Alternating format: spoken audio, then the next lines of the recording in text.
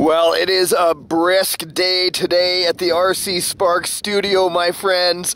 But I know we're all still on lockdown during the 2020 health crisis. And in my last backyard trail park video, I put out a vote. What did you want to see me run next? And the answer was clear the Black Widow. Welcome back to the show. This is a custom built Wraith. We've done lots of changes over the years to it. Start started off with my good buddy David Jr. back in the day when he was just a young pup learning how to do RC stuff. Look at this. Got a snatch block on the winch there. Old, old Vanquish aluminum uh, axle housings. Beautiful RC four-wheel drive mudslingers on the aluminum beadlocks. And a Gen 2 RX-8, which is an 8-scale ESC that I waterproofed with a huge race motor in it. But lots of exponential gives me a ton of control.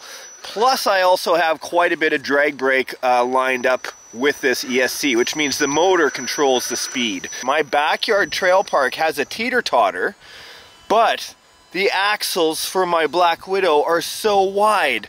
That's why we had to put in the second, um, second piece of wood on either side to kind of help these wider axle rigs get up onto the seesaw. Just like that. Been such a long time since I had the Black Widow out, my friends. It's a heavy rig. It's going to start tilting it. Look at this.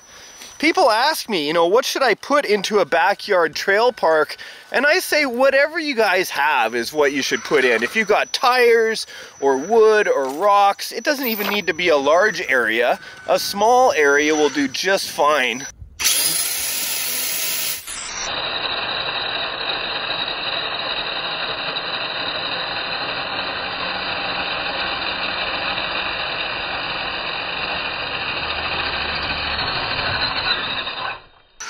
On the side hill area, very nice. An extreme side hill, look at this, as it drops down into another side hill. And then you have to go extra wide. Oh, did I get hung up on? No, I didn't. Yes, in the clear. Got some tire rippers on the outside. Now you guys are used to seeing me go up the yellow uh, side, which is an articulation tester, but for the wider axle vehicles like the Wraith, this is why I had built this side also. So here we go, try to line it up here. More of an obstacle course, and I'll tell you, when it's the winter time and like sub-zero temperatures, not like the springtime, like I think it's like maybe one degree outside right now, tires firm up and this side becomes almost impossible. Yeah, all one-handed driving, my friends.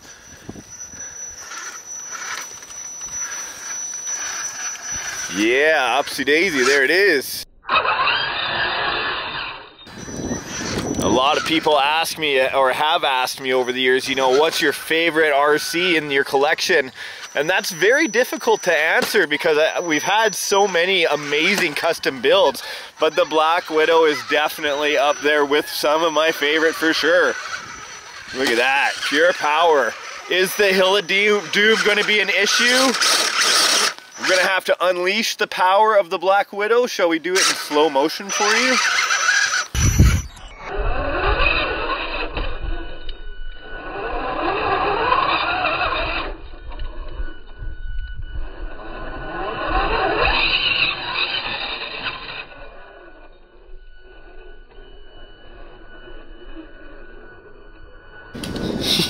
yeah, just pure power. I love it.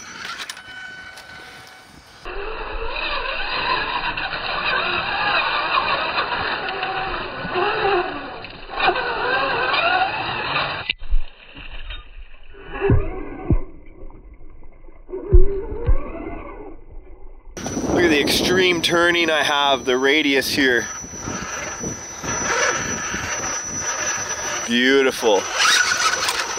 Always an area that's a challenge because it's a huge log right in the way. We may as well use the winch here.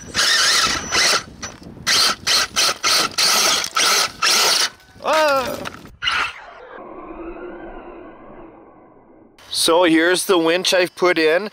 This winch can actually pull almost 70 uh, pounds and I've tested it. This is a 100 pound uh, fishing line I have spooled on there. A very long amount of line, probably about 14 feet because I do run a uh, snatch block as you can see.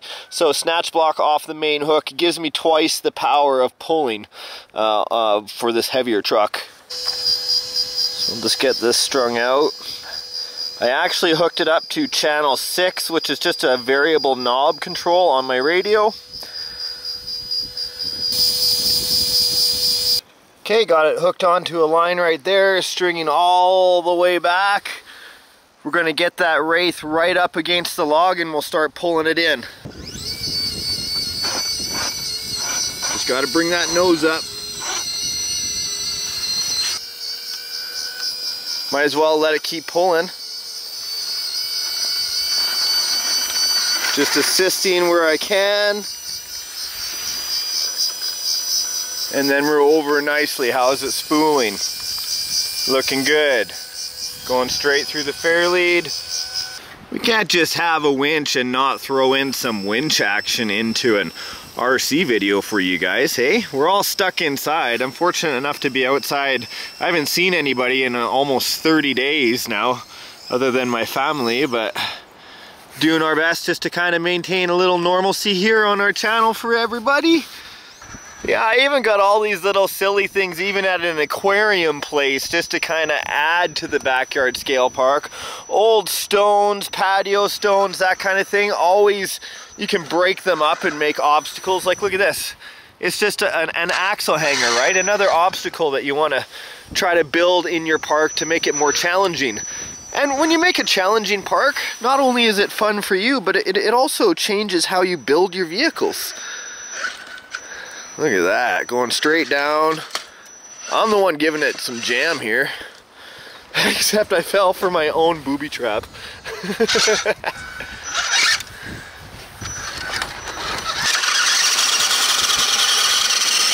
I think we should slow-mo that shot. It looks good. Oh, it wants to come down. Oh!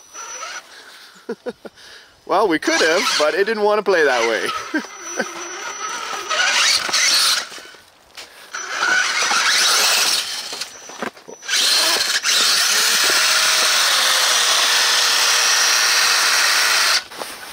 Looks like I'm having a bit of problems with that front axle turning. Let me see on the driver's side tire.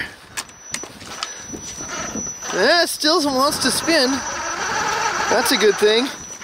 I bet you it's starting to slip out though just from age. Dude, it's just all mud in here.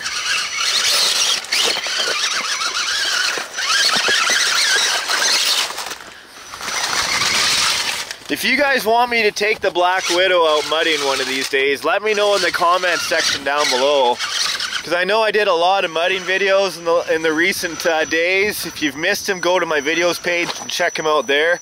Um, but I don't want to be like overlogging you or flooding you with mud videos when you'd rather backyard trail park or something else.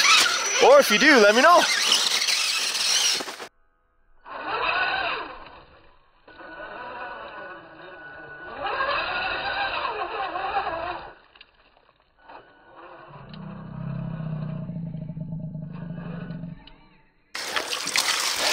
Lot of people ask to see me clean up my trucks after a run like this. They find it oddly satisfying. So this is for all the viewers that do enjoy that. I get a lot of questions about maintenance on my vehicles and in the mud videos I normally show that, you know, I've kind of built these trucks or over time collected these trucks and upgraded them to make sure that they're waterproof and make sure that they have like a lot of grease on them prior to running and then getting all the mud off of it as possible, uh, you know, as soon as possible within, you know, 10 minutes of finishing the run because it saves me, you know, tons of time and money later when I can clean out all the mud, make sure it doesn't seize up and rust, dry it off with the compressor. I have a big air compressor here and then re, uh, uh, re-lubricate everything before it goes back on the shelf.